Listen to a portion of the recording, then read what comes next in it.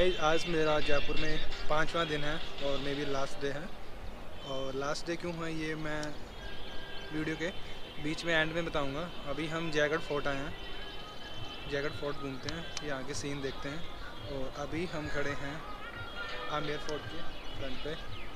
अभी हम जाएँगे जयगढ़ फोर्ट आमेर फोर्ट तो हम पहले भी काफ़ी बार आ चुके हैं। जयगढ़ फोर्ट हम आज तक कभी नहीं है पहली बार आए हैं तो हम पहले जयगढ़ फोर्ट जाएँगे। और वहाँ के सीन बहुत पसीना आ रहा है। मैंने इसको बोला भी था कि बहुत गर्मी है, रहने देते हैं। पर ये माना ही नहीं, इतनी धूप में भी यहाँ आ गया। बट पीछे मौसम बहुत अच्छा हो रखा है बट पता नहीं कि बारिश होगी कि नहीं। अगर हो जाए तो अच्छा है, नहीं तो फिर ऐसी धूप में ऊपर जाना मतलब सही नहीं है। बट अब आ गए हैं तो क्या कर सकते हैं। और ये गाइज़ आमेर फोर्ट है आमेर फोर्ट हम नहीं जा रहे। हमें जाना है, जयगढ़ फोर्ट जो आप फ्लैग देख रहे हो, वहाँ जाना है। तो चलते हैं। चले। Yeah, sure. Let's go Let's go, buddy.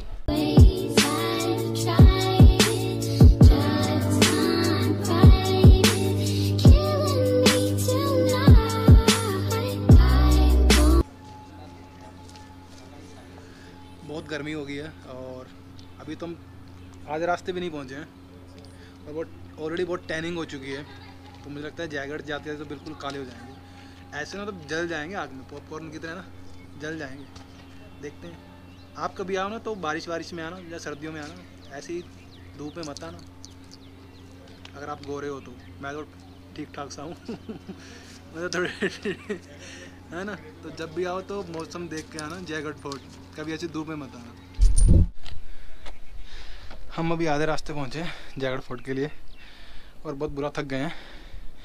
फिर मैंने विशाल को बोला कि किले के जाने के लिए सीढ़ियाँ हैं। भाग के चढ़ सीढ़ियों पे। ओह, ये तो बंद है। ये तो सीढ़ियाँ। यहाँ बीच में दीवार बना रखी है। तो अब हमें वही ढलान चल के जाना पड़ेगा।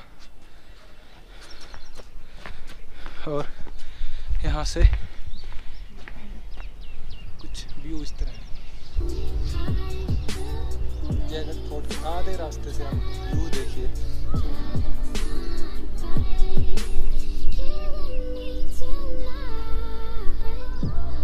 Talking to Griffey like, man, it's now or never. Now or never. Chasing big endeavors, facing stormy weather. Stormy weather. I say it, say okay, cause it just अभी हमें बहुत ऊपर जाना है।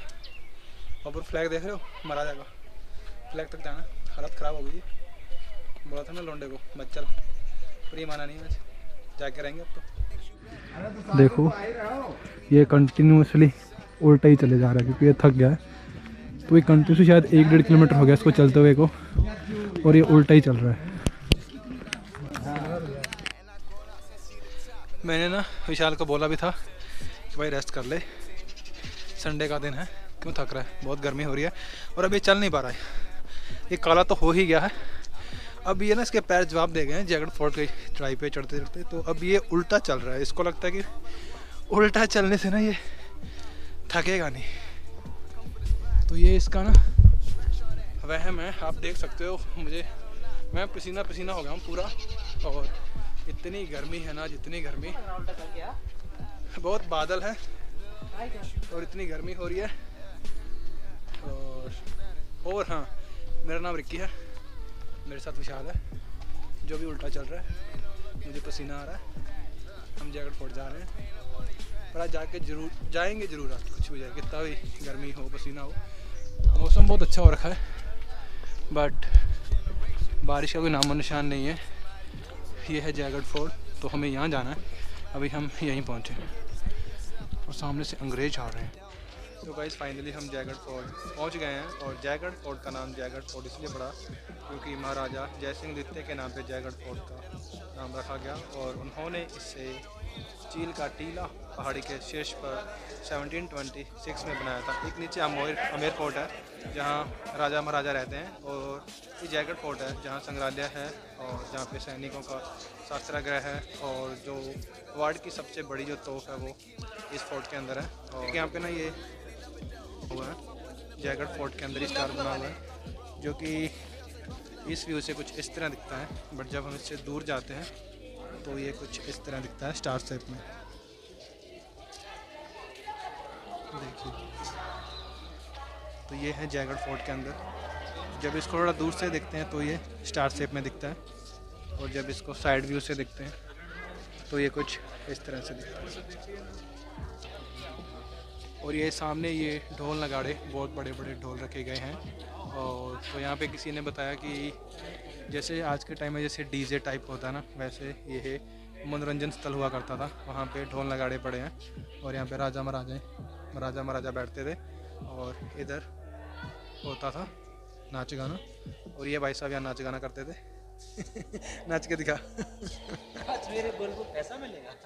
गाइस ये है लक्ष्मी निवास।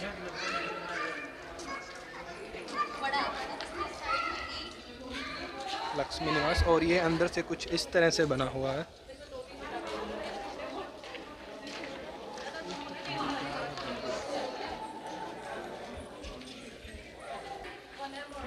और यहाँ पे अभी भी एक गद्दा पड़ा हुआ है बैठने के लिए। दिस इज़ लक्ष्मी निवास।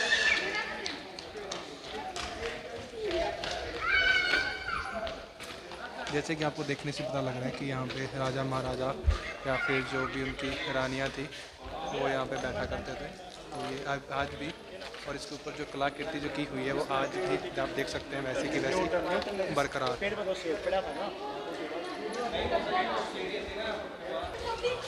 यहाँ पहुँचने के बाद अब मौसम अच्छा हो गया। थोड़ा बहुत तो बहुत अच्छा हो गया, हवा चलने लगी है।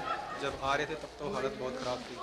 अब यहाँ थोड़ा ठीक अब हम ही आए हैं विलास मंदिर पपेट थिएटर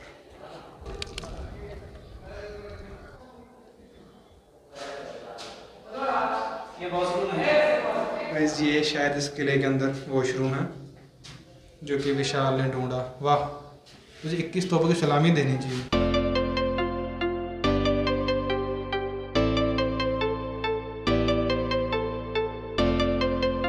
गाइस ये व्यू देखिए। मैं इस इस किले में मेन जो मेरा आने का जो रीज़न था ना, वो ये व्यू था। ये आप व्यू देखिए। और ये जो आप सामने फोर्ट देख रहे हो, पहाड़ी पे बना, ये यहाँ राजाओं महाराजाओं का निवास होता था। और जिस फोर्ट में हम अभी हैं, यहाँ पे सैनिकों का संग्रहालय और जो भी गोला बारूद तोफ, जो भी रखा जाता था, वो इस किले में रखा जाता था। और आप व्यू देखिएगा इस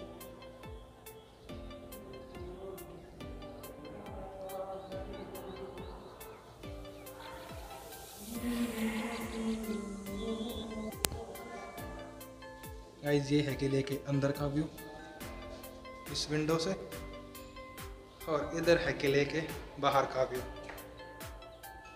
जैसे कि ये, ऐसा लग रहा है कि यहाँ पे जैसे रेस्ट करने के लिए इस जगह को बनाया गया हो, और इधर से हवा आती है। तो ये बहुत ही खूबसूरत है और आप जयपुर में आओ तो जयगढ़ फोर्ट ज़रूर विज़िट करें। और गाइज़ ये जो आप फोर्ट देख रहे हो, ये फोर्ट है आमेर फोर्ट और आमेर फोर्ट में राजा महाराजाओं का निवास होता था और तो ये है आमेर फोर्ट जो आप देख रहे हो। तो गाइज़ जो अभी जगह हमने विज़िट की ये था विलास मंदिर और अभी हम जाएँगे पपेट थिएटर की ओर। और।, और मैं वेट कर रहा हूँ पपेट का। विशाल! विशाल! और ये पपेट आता हुआ।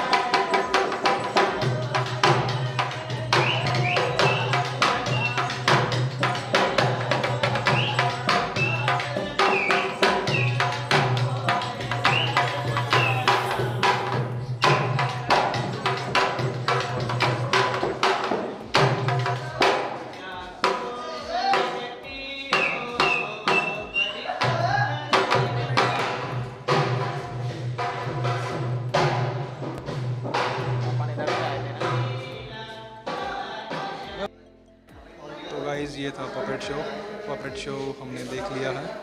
और अभी हम चलते हैं आगे। अभी हम आए हैं इस महल के रसोई घर में। अभी तक यहाँ पे जो उस टाइम के बर्तन अभी तक यहाँ रखे गए हैं। और यहाँ पे इस तरह से राजा महाराजा लोग भोजन ग्रहण करते थे। तो ये भोजनशाला महाराजा जय सिंह के वक्त 1621 से लेकर सोलह के बारे में बनाया गया था। देखिए, कुछ इस तरह से भोजनशाला और गाइज़ ये है रसोई घर, जहाँ पे खाना बनता था, और ये कुछ बर्तन और जहाँ जो जिस बर्तन में खाना बनता था तो वो यहाँ पे हैं अभी भी। आप देख सकते हैं कि ये राजा महाराजाओं के वक्त के बर्तन और ये रसोई घर। यहाँ पे खाना बनता था और आपने भी जो पीछे देखी भोजनशाला वहाँ पे वो लोग खाना खाते थे।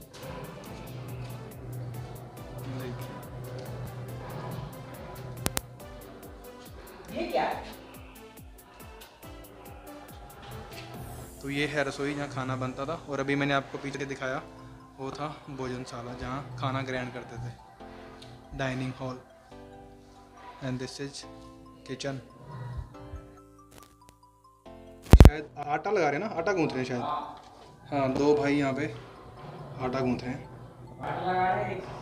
हाँ एक मेरा भाई आटा लगा रहा है एक मेरा भाई रोटी बेल रहा है।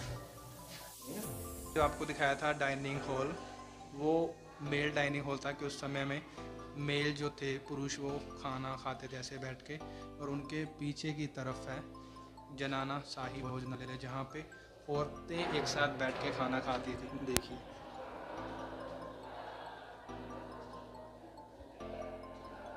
तो ये उनके बर्तन और अभी तक उनमें खाना भी परोसा हुआ है। देखिए।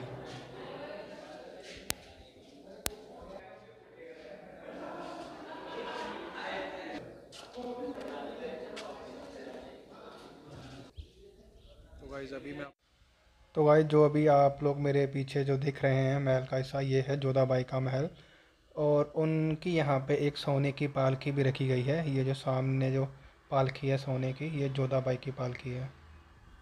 और गाइज़ ये है जयमाण तोप दुनिया की सबसे बड़ी कैनन, जिसे चलाने के लिए इसमें एक साथ एक किलो गन पाउडर का इस्तेमाल किया जाता है। और इसे अभी तक सिर्फ़ एक ही बार चलाया गया था, वो भी टेस्टिंग के वक्त। और टेस्टिंग के वक्त जब इसे चलाया गया था तो इसका गोला जयपुर से 35 किलोमीटर दूर चाकसू नामक स्थान पर जा गिरा था।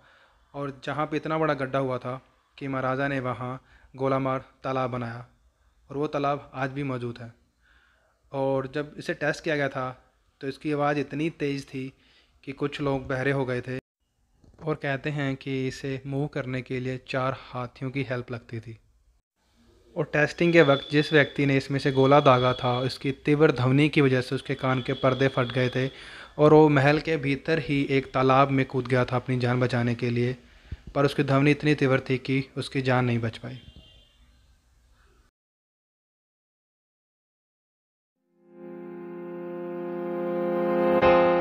Sometimes we forget why we're here. It's easy to fall off track. These help us remember. These battle scars don't look like they're faded, don't look like they're और गाइज़ ये जो आप सामने फ्लैग देख रहे हैं ये महाराजा की उपस्थिति को दर्शाता है अगर यहाँ पे सिंगल फ्लैग लहरा रहा है इसका मतलब है कि महाराजा किले में नहीं है और अगर यहाँ पे दो फ्लैग होते हैं उसका मतलब है कि महाराजा किले में है और ये महल जयपुर के महाराजा का प्राइवेट महल है, जिसके टिकट का आधा पैसा गवर्नमेंट को जाता है और आधा पैसा महाराजा के अकाउंट में। So guys this is all about Jaigarh fort और मैंने वीडियो के बिगनिंग में कहा था कि आज मेरा लास्ट दिन है जयपुर में मे भी लास्ट दिन इसलिए क्योंकि मैं चार पाँच दिन पहले हैदराबाद से जयपुर आया था। तो मैं लास्ट व्लॉग में बताया भी था कि मैं कितने लाइक बुरे हालात से निकला ना, कि मुझे जो फ़्लाइट में बैठने नहीं दिया एयर एशिया वालों ने, क्योंकि मेरे पास वैक्सीनेशन का कोई रिकॉर्ड नहीं था और पीसीआर टेस्ट रिपोर्ट नहीं थी तो बैठने नहीं दिया। फिर वहीं पीसीआर करवाया, बहुत कॉस्टली हुआ और उसके बाद फिर नेक्स्ट फ़्लाइट पकड़ के मैं जयपुर आया हैदराबाद से। मैं एक एनजीओ में जॉब करने के लिए आया था और उन्होंने चार दिन काम करवाया और उसके बाद वो बोलते हैं कि आपका काम अच्छा नहीं है तो एक महीने का एक महीने की बात हुई थी और चार दिन काम कराने के बाद वो लोग बोलते हैं कि हम आपको नहीं रखेंगे। कल एक बहुत बुरा लगता है यार तो क्या बोले अब? जो हुआ अब फिर मुझे शायद वापस हैदराबाद जाना पड़ेगा। हाँ यहाँ कोई शॉर्टकट रास्ता है? और शॉर्टकट रास्ता है?